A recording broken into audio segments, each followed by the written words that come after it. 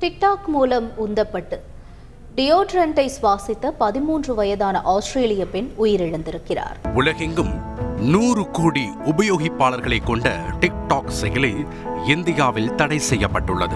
சீனாவை சேர்ந்த பைட்னான்ஸ் நிறுவனத்திற்கு சொந்தமான இந்த செயலி மூலம் பல கோடி பேர் தினமும் காணொளிகளை பார்த்து மகிழ்கின்றனர். ஆனால் இதில் எதிர்மறையான விபரீத விளைவுகளும் அவ்வப்போது ஏற்படுகிறது. குரோமிங் என்று அழைக்கப்படும் வாசனை பொருட்களை நுகர்வது பற்றிய காணொளிகள் டிக்டாக்கில் ட்ரெண்ட் ஆகியது வினையாகியுள்ளது.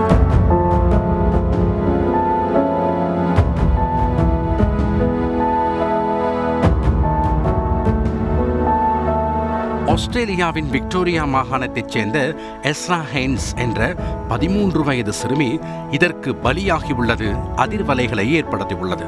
உடலில் ஏற்படும் வியர்வை நாற்றம் மற்றும் துர்நாற்றத்தை தடுக்கும் திறன் கொண்ட டியோட்ரண்டை முகர்ந்து பார்த்து சுவாசித்து அதை காணொளி எடுத்து டிக்டாக்கில் பகிரும் ட்ரெண்டிற்கு இவர் பலியாகியுள்ளார். டியோட்ரண்டை அளவுக்கு அதிகமாக சுவாசித்ததால் எஸ்ரா ஹைன்ஸுக்கு கடந்த மார்ச் முப்பத்தோராம் தேதி மாரடைப்பு ஏற்பட்டது.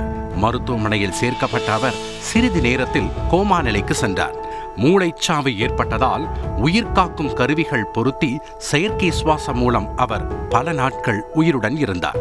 மூளைச்சாவில் இருந்து மீளவே முடியாது என்பது உறுதி செய்யப்பட்ட பின் அவரின் குடும்பத்தினரின் ஒப்புதலுடன் உயிர்காக்கும் கருவிகள் மற்றும் செயற்கை சுவாசம் நிறுத்தப்பட்ட பின் அவர் உயிரிழந்துள்ளார். எஸ்ரா ஹைன்ஸ் மரணத்தை தொடர்ந்து இத்தகைய விபரீத பழக்கங்கள் ஏற்படுத்தும் பாதகங்கள் பற்றி மாணவர்களிடம் விழிப்புணர்வை ஏற்படுத்தப் போவதாக விக்டோரியா மாகாண கல்வித்துறை அறிவித்துள்ளது.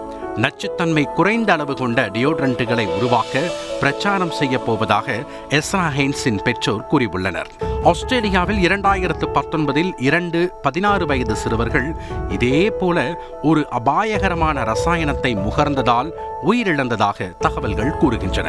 வுல்ஸ்வர்த் கோல்ஸ் என்ற ஆஸ்திரேலிய சூப்பர் மார்க்கெட்டுகளில் டியோட்ரண்ட்டுகளை கண்ணாடி பீரோக்களில் பூட்டி வைக்க நடவடிக்கை எடுக்கப்பட்டுள்ளது.